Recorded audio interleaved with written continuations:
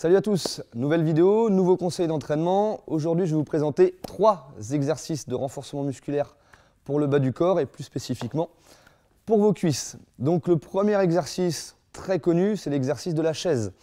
Donc c'est un exercice où on va maintenir une position durant un certain temps. Donc c'est du travail en isométrie et c'est une méthode d'entraînement qui est très intéressante pour gagner en force. Donc pour réaliser cet exercice, il vous suffit simplement d'un mur. Vous allez placer votre dos contre le mur, descendre vos hanches, fléchir vos hanches, jusqu'à ce que vos cuisses soient parallèles au sol. Pensez toujours à garder vos genoux bien dans l'axe, les pieds largeur du bassin. Vous pensez à bien vous autograndir, respirer profondément et vous maintenez la position jusqu'à ce que vous ne puissiez plus tenir. Une fois que vous vous relevez, vous allez récupérer 30 secondes. Et vous allez enchaîner avec un exercice plus dynamique qui sont les squats.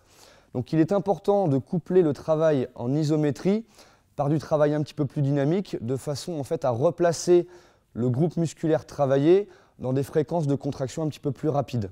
Donc 30 secondes de récup et ensuite vous allez enchaîner donc sur des squats. Pied largeur du bassin, vous allez fléchir vos chevilles, vos genoux et vos hanches pour emmener les fesses vers le sol. Les consignes très importantes, c'est vraiment de venir pousser les fesses vers l'arrière, comme si vous alliez vous asseoir sur une chaise. Le dos reste bien droit, donc surtout je ne descends pas dos rond. Je pense à me grandir, je pousse les fesses vers l'arrière, le dos droit, je pousse sur les cuisses pour remonter.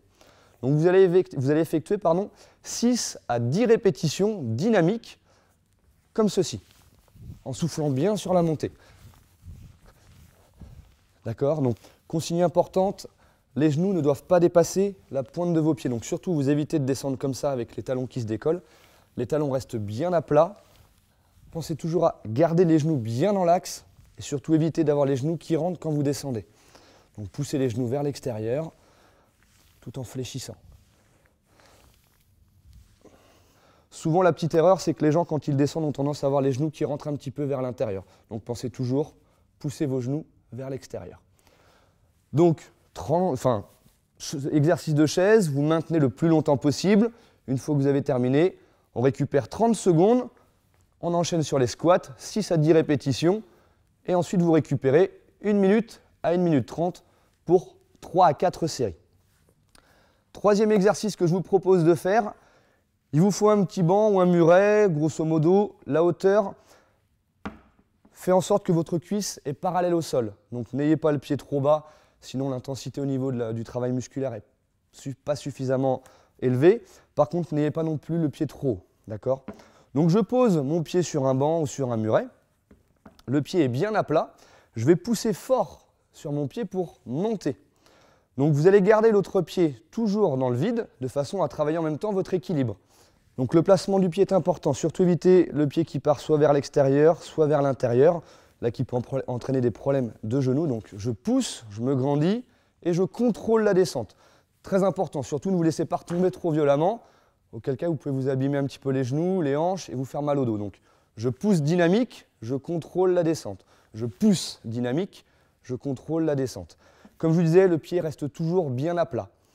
Vous effectuez 12 à 15 répétitions sur une jambe et vous enchaînez directement avec l'autre pied.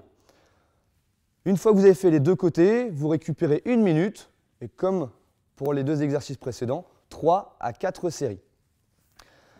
Si au bout d'un moment vous sentez que cet exercice est un petit peu trop simple, vous pouvez très bien rajouter une paire d'haltères dans les mains et faire le même exercice. D'accord? Donc, comme d'habitude, n'hésitez pas à vous connecter sur le site globerunners.fr pour retrouver davantage d'informations. Je vous retrouve très bientôt pour de nouveaux conseils d'entraînement. Salut